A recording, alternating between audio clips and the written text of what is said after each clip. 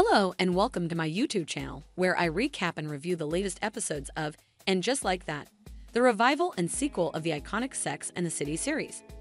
In this video, I will be talking about the season 2 finale, titled The Last Supper Part 2, Samantha's surprise appearance. If you haven't watched the episode yet, be warned that this video contains major spoilers. So, without further ado, let's get into it.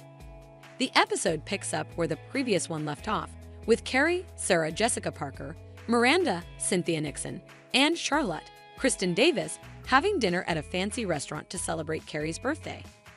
They are joined by their new friends Seema, Sarita Choudhury, Lisa, Nicole Ari Parker, and Nia, Karen Pittman, who have become part of their inner circle over the course of the season. The Lays are having a good time, reminiscing about their past adventures, sharing their current struggles, and making plans for the future. They toast to Carrie's new book, Miranda's new career, Charlotte's new family, Seema's new freedom, Lisa's new podcast, and Nia's new love.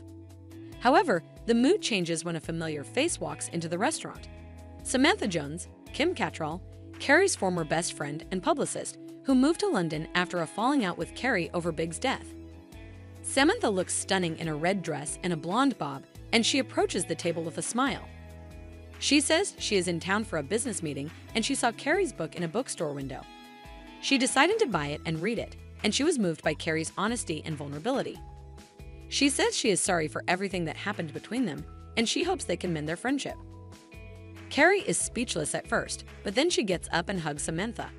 She tells her that she missed her so much and that she is glad she came. Miranda and Charlotte also hug Samantha, and they invite her to join them for dinner. Samantha agrees, and she sits down next to Carrie. The other women welcome her warmly, and they start chatting like old friends. Samantha tells them about her life in London, her successful PR firm, her new boyfriend, and her recent adventures. She also compliments them on their achievements, their looks, and their choices. She says she is proud of them all and that they are still her soulmates. The episode then cuts to a montage of scenes showing how each of the women's lives has changed for the better since the beginning of the season.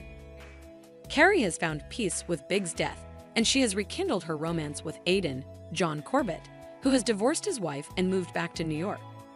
Miranda has divorced Steve, David Eigenberg, and moved in with Che, Sara Ramirez, who has quit their sitcom and started a new comedy show with Patty Thomas, Julie White. Charlotte has embraced rocks, Alexa Swinton, gender identity, and modeling career, and she has bonded with Harry, Evan Handler, over their love for the Americans. Seema has finalized her divorce from Mira Asif Manvi and started dating a younger man named Raj, Rizwan Manji. Lisa has launched a successful podcast called Black Girl Magic with Herbert, Chris Jackson, as her producer. Nia has fallen in love with Andrew Blair Underwood, who has reconciled with his ex wife and his son. The episode ends with a voiceover from Carrie, who says that life is full of surprises, some good and some bad, but that what matters is how we deal with them. She says that she has learned to appreciate what she has, to let go of what she doesn't need, and to embrace what comes next.